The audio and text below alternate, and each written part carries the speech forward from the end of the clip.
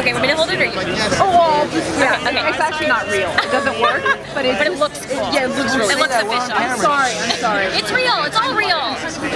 Nothing in Hollywood is smoke and mirrors. It's all real. I'm Amy Paffrath. I'm the host of MSN's Last Night on TV, and I'm a correspondent for TV Guide's Hollywood 411. My website is amypaffrath.com. to nail some good right.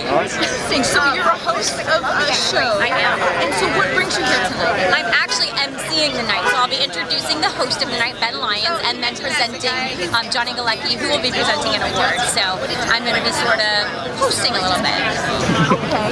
I'm fascinated. So how did you get your start? How did you get to host a TV show? I mean, did you submit like everybody else in Hollywood kind of on Actors Access? Yeah, you know, it's interesting because hosting jobs come about the same way as acting jobs do. Yeah, it's um, Breakdown Express. I have my agents out there looking for stuff.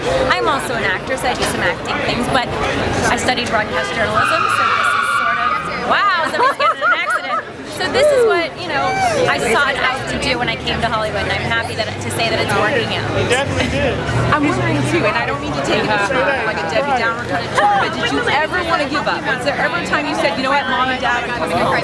Never, ever, ever did that cross my mind. I came here with no backup plan. I think people that come with a backup plan are really selling themselves short. You gotta go all the way. If you really want it, there's nothing else that'll make you happy. And that's really what it was for me. I was just happy living in LA.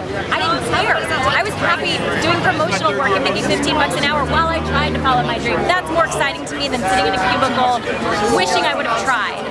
So that's it for me. That's it, right? Awesome. Don't give up.